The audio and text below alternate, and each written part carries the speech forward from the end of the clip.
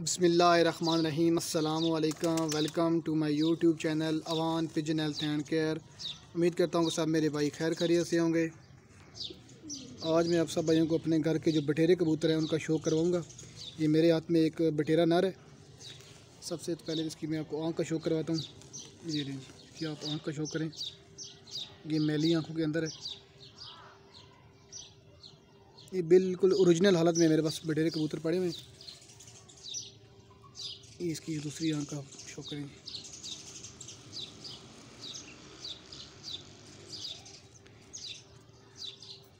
ये मैली आँखों के अंदर है और देखें चोंच बिल्कुल उसकी छोटी सी है। चोंच का जो साइज़ है बिल्कुल छोटा है।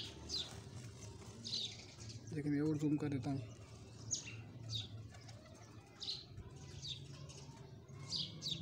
और कबूतर की पलकें चेक करें।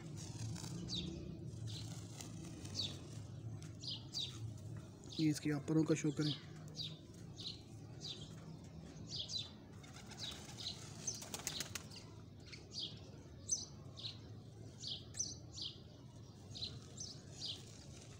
ये अपरों की वाइब्रेशन चेक करें जी। ये बिल्कुल मेरे पास प्योर हालत में पड़े हैं। इसके पर भी मैंने खींचे होते इसके पर भी बिल्कुल सारे नए निकले हैं। कि माशाल्लाह मेरे पास बहुत अच्छी परवाज़ें हैं। काफ़ी अच्छा ये मेरे पास उड़ा है। मैं ये नहीं कहता कि ये शाम शाम तक मेरे पास उड़ा है। इसकी परवाज़ें तीन चार बजे तक इसकी परवाज़ें गई हैं। ये लास्ट परवाज़ जो थी इसकी की थी, वो तकरीबन साढ़े चार बजे की थी, लास्ट परवाज़।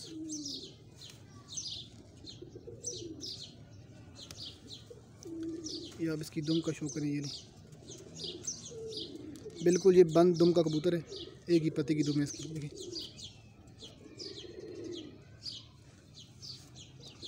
ये इसके पंजे हैं जी।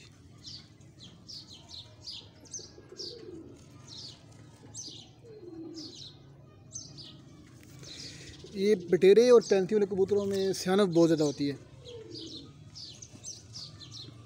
इन जैसा सियाना कबूतर आज तक मैंने नहीं कभी देखा। पैंती वाले भी बहुत सियाने होते हैं और बटेरे भी बहुत, क्योंकि ये बटेरे पैंती वाले में से ही बनते हैं। बटेरे और पैंती वाले बहुत सियाने होते हैं।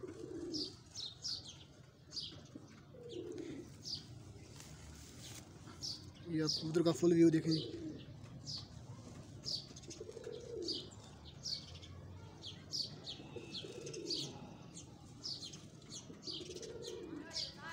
ये बिल्कुल मेरे पास प्योरिटी में पड़े हुए हैं। मैंने कहा, चले आप भाइयों को भी शौक करवा दें। काफ़ी मुझे रिक्वेस्टें आ रही थी कि अपने जो बटेरे कबूतरों का भी शौक करवाएँ।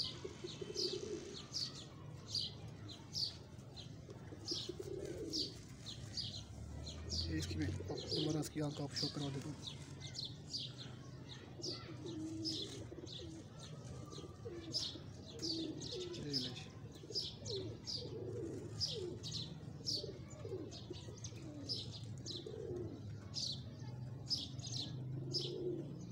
इन कबूतरों के पीछे सियानत ख़त्म है जी। इन बटेरे और पैंती वाले कबूतरों के पीछे। माशाल्लाह, परवाज़ में भी अपनी मिसाल आप हैं और सियाना में भी अपनी मिसाल आप हैं। बहुत सियाने कबूतर होते हैं ये। ये कबूतर थोड़ा सा बीमार हो गया था। उसको थोड़ा, उस कबूतर को सोखड़ा भी हो गया था। तो काफ़ी काफ़ी हद तक ये कबूतर रिकवर हो गए। ये देखें इसको मैं आपको दिखाता हूँ। ये देखें इसको सोखड़ा कबूतर हो गया था। ये काफ़ी हद तक रिकवर हो गए। अभी तो माशाल्लाह बिल्कुल ये सेहतमंद हो गए। ये चलने फिरने से भी उजार हो गया था ना दाना खाता था, ना से चलने होता था। तो काफ़ी इसकी मैंने ट्रीटमेंट ट्रीटमेंट की है तो अभी अलहमदिल्ला, अल्लाह का शुक्र है कि ये ठीक हो गया, काफ़ी हद तक बेहतर हो गया।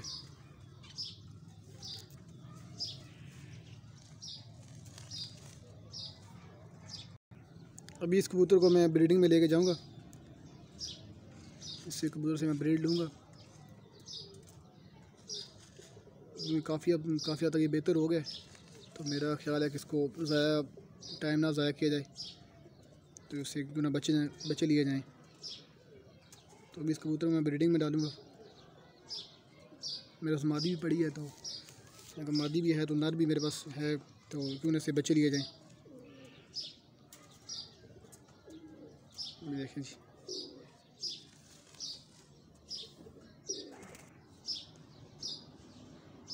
चलें जी, मिलते हैं नई वीडियो के साथ नए टॉपिक के साथ। तब के हाफिज़ जी। दो में याद रखिएगा।